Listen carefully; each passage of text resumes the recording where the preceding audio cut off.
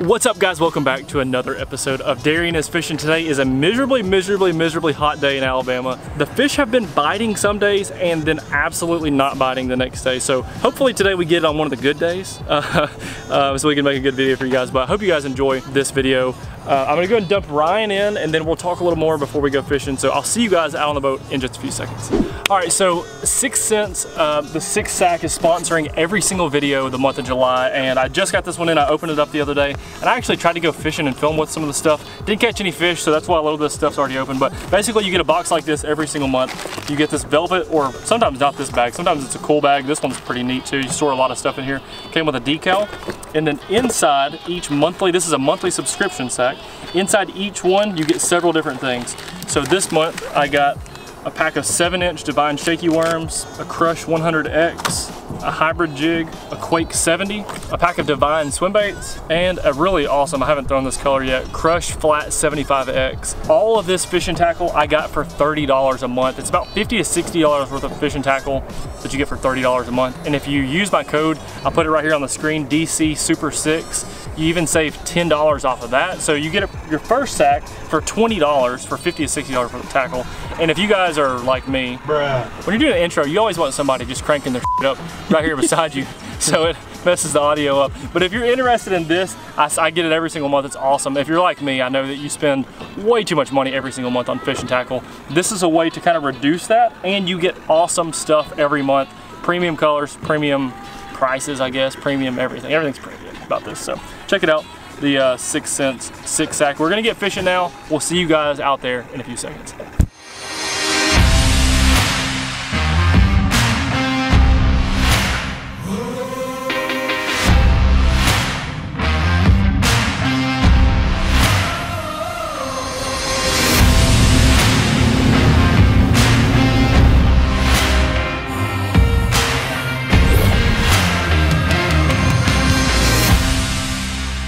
So the six sack I just showed you, I got this worm. It's a um, seven inch divine shaky worm and cinnamon crave. It's either crave or craze. I can't ever remember the name of it, but um, it's it's like a zoom magnum trick worm. I use that worm a lot, except I do like the profile of this one. It's kind of thick and then it tapers off to a skinny section right before you get to the tail, which has got that bulb section, which kind of has a lot of action right there in the water. So when it's standing up, I've got it on a stand-up head, three-quarter out stand-up head.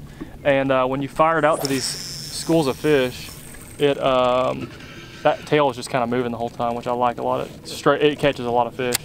Um, this worm's really good. This color's really good too. But basically, I've got a school of fish found, and this is probably my third cast on the school. I haven't caught any yet, actually. Oh, I thought that was a bite. But I'm hung on something. I thought I was about to swing for y'all, but I should have just swung and then acted like I was fighting something and then broke off, then I could have told y'all I lost a giant. All right, so I just found some fish and uh, yesterday me and Trey swindle fished together and he left this hair jig in my boat. I told him he could leave my rod, his rods in here. I ended up taking his rods out earlier so we could get in here and fish. And I saw this hair jig and I thought to myself, you know, a good friend knows that this is Trey's hair jig and a good friend would take that hair jig out and set it beside his rods where I put his other stuff at. But I ain't a good friend. I'm a really bad friend, and I'm going to take advantage of the fact that Trey left his hair jig in my boat, because I think these fish might eat it. That should be her right there. My mathematics is correct. That should be a fish. Dude, it's blazing hot.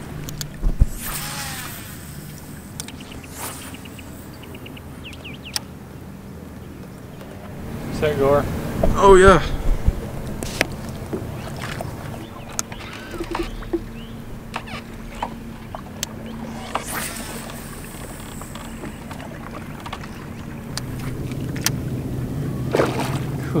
I have no clue what that was. It scared the shit out of me. All right, I'm uh, overly hot, crazy hot. Um, it's starting to rain, thankfully. Normally I would complain about the rain, but it's hotter than two balls in a sock today. Uh, that's how hot it is.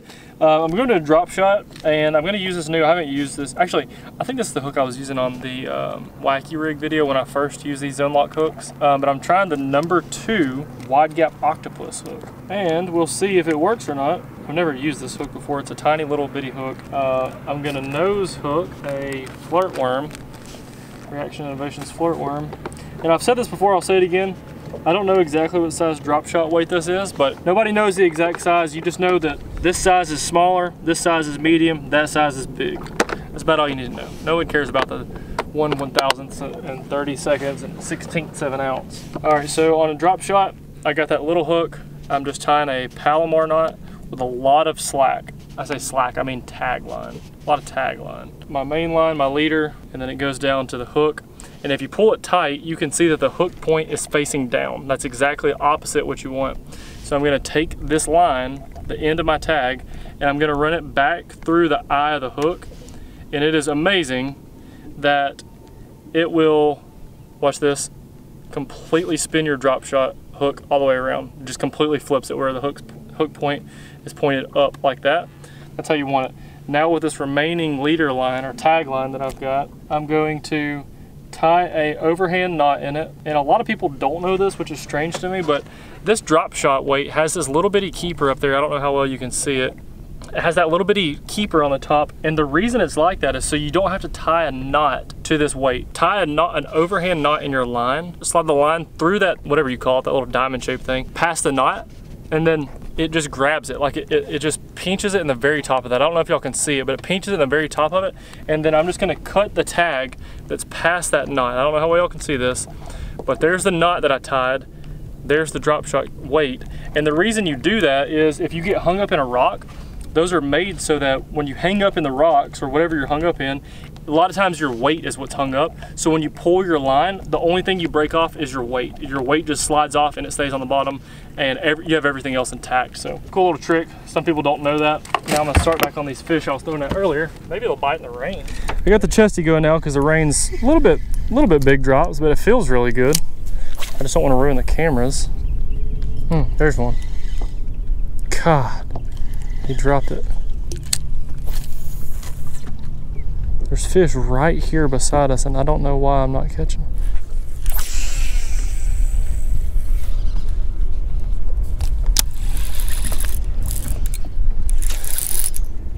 Got one.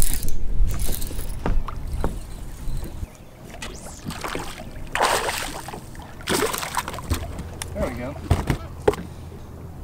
go. There's a hair jig eater. Thanks, Trey. I know you did not plan on me using this today, but I'm thankful you left it in my boat. well, that was cool. Honestly, I um, I thought I made a bad cast.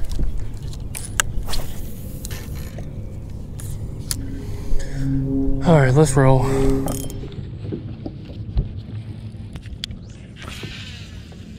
It's a little warm.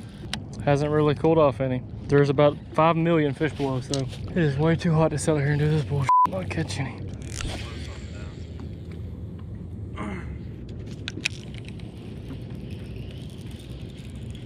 All right, we're gonna check one more spot, and if they're not there, we're going.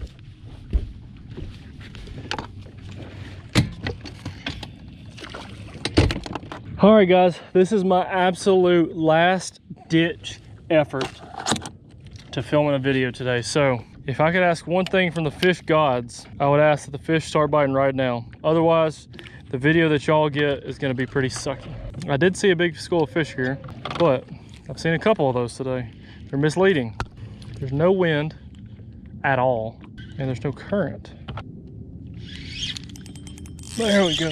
God, he came off. You bitch.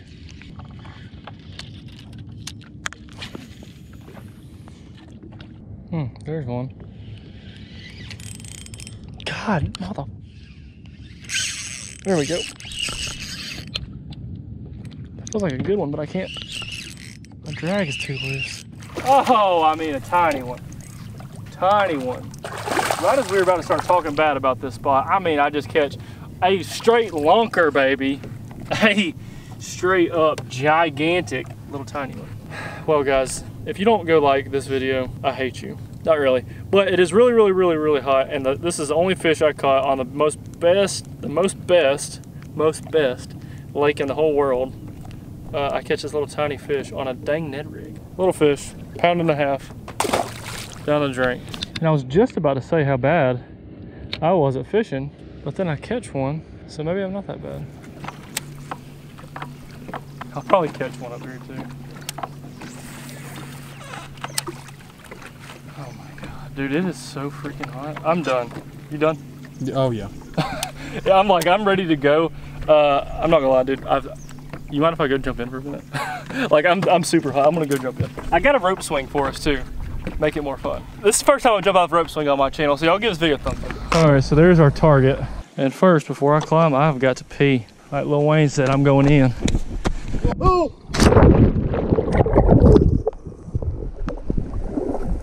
So far, so good. No snakes. Woo! Okay, here we go. Hope. Please be no snakes.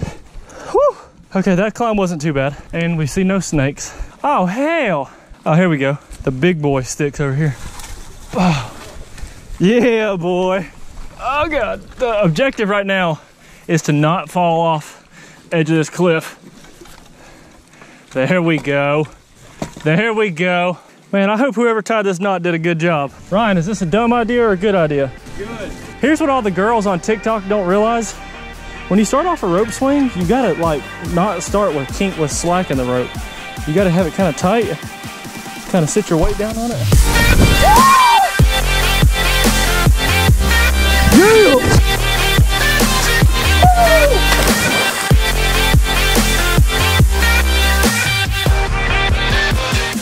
This is what you do when you don't catch any fish. well, that was a fun way to end a very hot, miserable fish not biting and super, super hot, hot, hot, hot trip. Backflip on this is pretty sketchy because the rope's like right, actually it's even more behind the bank so you have to let go and then keep going out. Sometimes it gets a little sketchy, but anyhow, hope you guys enjoy the video. Um, the, the fishing stuff that I talked about earlier was a little bit informative, but it's time to go to the house. I'm, I'm way dehydrated. Ryan's dehydrated. We're ready for some lunch. So hope you guys enjoyed the video. I know it was a little bit random. Not, not normally what you see on my channel, but it was a lot of fun for us. Um, if you're not already subscribed, please hit the subscribe button. Turn on the notification bell because Ryan is kicking out some banger edits and you guys do not want to miss them. And drop a comment down below on what you think my next video should be about. I'm taking comments from subscribers and gonna start filming some of those um, ideas. I think they're really good. Y'all got really cool ideas. So hope you guys enjoy the video. I'll see you all on the next one.